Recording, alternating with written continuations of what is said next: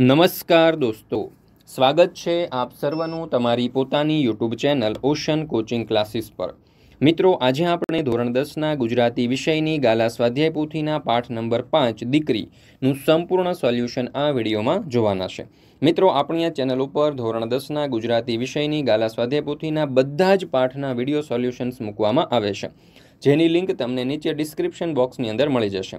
આ ઉપરાંત ધોરણ દસના ગુજરાતી વિષયની ગાલા સ્વાધ્યાય પોથીના બધા જ પાઠના સોલ્યુશનની પીડીએફ હા દોસ્તો પીડીએફ આપણી એપ્લિકેશન ઉપર મુકાઈ ચૂકી છે, તો જરૂરથી એપ્લિકેશનનો ડાઉનલોડ કરી અને તમામ પીડીએફનો અભ્યાસ કરી લેવો. તેમજ ધોરણ દસના તમામ વિષયના જે વીડિયો સોલ્યુશન્સ છે, તેની લિંક વોટ્સઅપ ઉપર પ્રાપ્ત કરવા માટે આપણા વોટ્સઅપ ગ્રુપની અંદર જરૂરથી જોડાઈ જજો. તો આ વોટ્સઅપ ગ્રુપમાં જોડાવા માટેની લિંક પીડીએફ માટે એપ્લિકેશનની લિંક અને વીડિયો જોવા માટેની લિંક તમને નીચે ડિસ્ક્રિપ્શન બોક્સની અંદર મળી જશે. ચાલો તો શરૂ કરીએ ધોરણ દસના ગુજરાતી વિષયની ગાલા સ્વાધ્યાય પાઠ નંબર પાંચ, દીકરીનું સંપૂર્ણ સોલ્યુશન.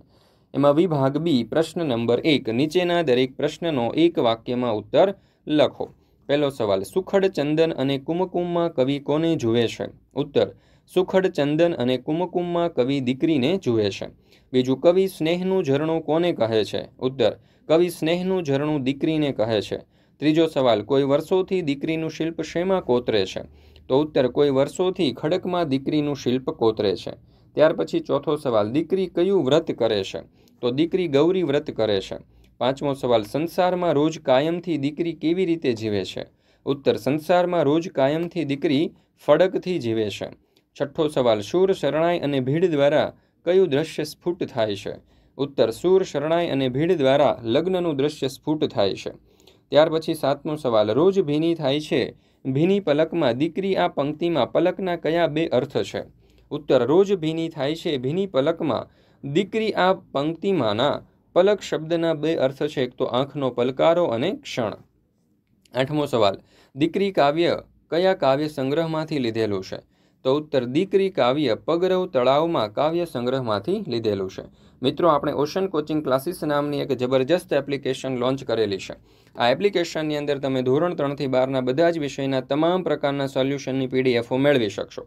જેમ કે દરેક પાઠના સમજૂતીની, સ્વાધ્યાયની સ્વાધ્યન પોથીની, ગાલા સ્વાધ્યાય પોથીની, પ્રશ્ન બેંકની અસાઇનમેન્ટની પ્રશ્નપત્ર જે છે, પ્રથમ દ્વિતીય વાર્ષિક પરીક્ષાઓના એમની અને બીજા ત્રીજા તમામ પ્રકારના સોલ્યુશનની પીડીએફો તમે મેળવી શકશો. તો જરૂરથી આપણી એપ્લિકેશન ડાઉનલોડ કરજો, તેમજ તમારા દોસ્તોને મિત્રોને પણ જાણ કરજો, જેથી કરી અને તમામ પ્રકારના સોલ્યુશન જે છે, એમની પીડીએફનો તેઓ અભ્યાસ કરી શકે. ચાલો, આ જે એપ્લિકેશન છે, તે ડાઉનલોડ કરવાની લિંક તમને નીચે ડિસ્ક્રિપ્શન બોક્સમાં મળી જશે. અથવા તો પ્લે સ્ટોર ઉપર જઈ અને સીધી પણ તમે ડાઉનલોડ કરી શકો છો.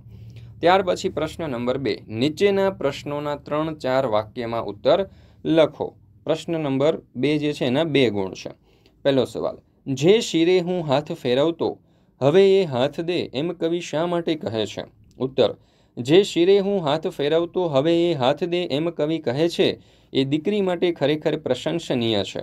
દીકરી પિતાને પગે લાગે છે, ત્યારે પિતા તેના શિરે હાથ ફેરવે છે. એમાં વહાલ છે તો દીકરીથી છૂટા પડવાની વેદના પણ છે. પિતાને ક્યાં ખબર હોય છે કે આ દીકરી, આ સમજુ દીકરી એક વખત એમને હાથ દેશે, એમનો સહારો બનશે, એમને હૂફ આપશે. ત્યાર પછી બીજો સવાલ, શૂર શરણાઈ સગા સંબંધીઓની ભીડમાં ભીની પલક શબ્દો શું સૂચવે છે? ઉત્તર સૂર શરણાઈ સગા સંબંધીઓની ભીડમાં ભીની પલક શબ્દો એક પિતાની દીકરીના વિરહની વેદના સૂચવે છે. જ્યારે શરણાઈના સૂર સંભળાય ત્યારે સગા સંબંધીઓની ભીડમાં પણ પિતા સંયમ રાખી શકતા નથી. દીકરીની યાદમાં તેમની આંખ ભીની થતી જાય છે અને એ ભીની પલકમાં પિતાને પોતાની દીકરી જ પ્રત્યક્ષ રૂપે દેખાય છે. ત્યાર પછી પ્રશ્ન નંબર ત્રણ નીચેના પ્રશ્નોના આઠ દસ વાક્યોમાં મુદ્દાસર જવાબ લખો. પહેલો સવાલ, દીકરી ગઝલ દ્વારા પિતા તરીકે કવિએ દીકરી પ્રત્યેના મનોભાવો કઈ રીતે વ્યક્ત કર્યા છે? ઉત્તર, દીકરી ગઝલમાં કવિએ દીકરીના ગૌરવ અને ગુણોનો, ગુણોને મૂલવ્યા છે. કવિને સ્વર્ગની એક એક દેવીમાં દીકરીની ગઝલ દેખાય છે. દીકરી સુખડ ચંદન જેવી સુગંધ અને શીતળતા આપે છે. કુમકુમના તિલકમાં દીકરીનું સૌંદર્ય વસ્યું છે. દીકરીના હૈયામાં સ્નેહનું ઝરણું વહે છે એટલે એ મીઠડી લાગે છે. કોઈ વર્ષો સુધી ખડકમાંથી સુંદર શિલ્પ કોતરે એવી નકશીદાર દીકરી છે. લાજ, મર્યાદા, શરમ, ગૌરી વ્રત જેવી પરંપરાગત હારમાળામાં દીકરી હંમેશા ફડકમાં ઉછરતી રહી છે. એને શિરે હાથ ફેરવી વહાલ કર્યું, આશીષ આપ્યા, એ દીકરી આજે કેવી સમજદાર થઈ ગઈ છે. આજે એ મને હાથ દે છે અર્થાત મને સહારો દે છે. આવી વહાલી દીકરીને કેમ ભૂલાય? જ્યારે શણગા જ્યારે શરણાઈના સૂર સાંભળું છું, ત્યારે સગા સંબંધીઓની ભીડમાં પણ મારી આંખો ભીની થઈ જાય છે અને એ ભીની પલકમાં મારી દીકરી જ મને પ્રત્યક્ષ દેખાય છે. આમ વાહલી અને મીઠડી દીકરીના ગૌરવભર્યા સ્થાન અને માન હંમેશા પિતાના હૃદયમાં રહેવાના. ત્યાર પછી જોઈએ વિભાગ સી. અહીંયા આપણને કહ્યું છે કે નીચેના શબ્દોની સાચી જોડણી શોધીને લખો. તો અહીંયા તમે જોશો તો કુમકુમ, પરિણામ, ઝલક અને ગૌરીવ્રત વગેરે જેવા જે શબ્દો છે તેમની જોડણી અહીં આપણે દર્શાવેલી છે. ત્યાર પછી પ્રશ્ન નંબર બે, નીચેના શબ્દોના સમાસ ઓળખાવો. એમાં ગૌરીવ્રત તો મધ્યમ પદ લોભી અને સગા સંબંધી તો દ્વંદ્વ સમાસ. ત્યાર પછી પ્રશ્ન નંબર ત્રણ, નીચેના શબ્દોમાં કયો પ્રત્યય રહેલો છે તે લખો. તો સમજણ, તો સમજણની અંદર પર પ્રત્યય રહેલો છે. ત્યાર પછી પ્રશ્ન નંબર ચાર, નીચેના શબ્દોના સમાનાર્થી શબ્દ લખો. એમાં ફડક તો ફડક એટલે કે ચિંતા, એનું સમાનાર્થી ભીડ એટલે કે એનું સમાનાર્થી મેદની થશે, શિરનું સમાનાર્થી મસ્તક થશે અને ફલકનું સમાનાર્થી વિસ્તાર થશે. ત્યાર પછી પ્રશ્ન નંબર પાંચ, નીચેની સંજ્ઞાઓનો પ્રકાર લખો, એમાં સ્નેહ, તો એ ભાવવાચક સંજ્ઞા થશે, ફડક, તો એ પણ ભાવવાચક સંજ્ઞા છે. ત્યાર પછી શરણાઈ, એ જાતિવાચક સંજ્ઞા છે અને ઝરણું એ જાતિવાચક સંજ્ઞા થશે. ત્યાર પછી પ્રશ્ન નંબર છ, નીચેની પંક્તિઓમાંના અલંકારનો પ્રકાર લખો. તો કોતરે છે કોઈ વર્ષોથી ખડકમાં દીકરી, તો અહીંયા અલંકાર થશે સજીવારોપણ. બીજું, ભીની પલકમાં દીકરી, તો અહીંયા અલંકાર થશે શ્લેષ. ત્યાર પછી આગળ જોઈએ, નીચેના પ્રશ્નોના માંગ્યા પ્રમાણે ઉત્તર લખો. એમાં સાતમો સવાલ, નીચેના રૂઢિપ્રયોગોના અર્થ લખો. એમાં પહેલું, માથે હાથ ફેરવવો, એટલે કે આશીષ આપવા. બીજું, હાથ દેવો, એટલે સહારો આપવો અથવા તો હૂફ આપવી. ત્યાર પછી પ્રશ્ન નંબર આઠ, નીચેના શબ્દ સમૂહ માટે એક શબ્દ લખો. એમાં છે, દેવોનો લોક એટલે કે સ્વર્ગ. મીન કે પહાડમાંથી ઝરતો પાણીનો વહેળો તો ઝરણો અને આંખોનો પલકારો તો અહીંયા જવાબ આવશે પલક. ત્યાર પછી આપણે જોઈએ નવમું. નીચેના શબ્દોના વિરુદ્ધાર્થી શબ્દો લખો. એમાં જે શરમ, તો શરમનું વિરુદ્ધાર્થી થશે બેશરમ. સમજનું વિરુદ્ધાર્થી થશે અણસમજ. ભીનુંનું વિરુદ્ધાર્થી થશે સૂકું. સ્વર્ગનું વિરુદ્ધાર્થી થશે નરક. સ્નેહનું વિરુદ્ધાર્થી નફરત અને વિસ્તરેનું વિરુદ્ધાર્થી થશે સંકોચાય ત્યાર પછી પ્રશ્ન નંબર દસ, નીચેના શબ્દોના અર્થ આપો. એમાં ઉછરે એટલે કે વિકસિત થાય, ઉછળે એટલે કૂદે.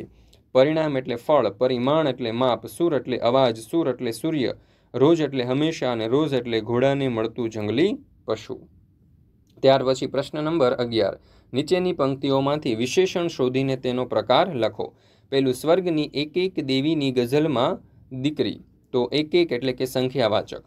બારમું નીચેની પંક્તિઓમાંથી ક્રિયા વિશેષણ શોધીને તેનો પ્રકાર લખો. એમાં પહેલું, વિસ્તરે છે એમ સમજણના ફલકમાં દીકરી. તો એમ એ રીતિવાચક ક્રિયા વિશેષણ થશે. બીજું, રોજ ભીની થાય છે ભીની પલકમાં દીકરી. તો રોજ એ સમયવાચક ક્રિયા વિશેષણ ત્યાર પછી તેરમો પ્રશ્ન, નીચેના શબ્દોના ધ્વનિ ઘટકો છૂટા પાડો. એમાં છે સ્વર્ગ, તો સ વત્તા વ વત્તા અ વત્તા ર વત્તા ગ વત્તા અ એટલે કે સ્વર્ગ. બીજું છે મર્યાદા. તો મ વત્તા અ વત્તા ર વત્તા ય વત્તા આ વત્તા દ વત્તા આ એટલે કે મર્યાદા.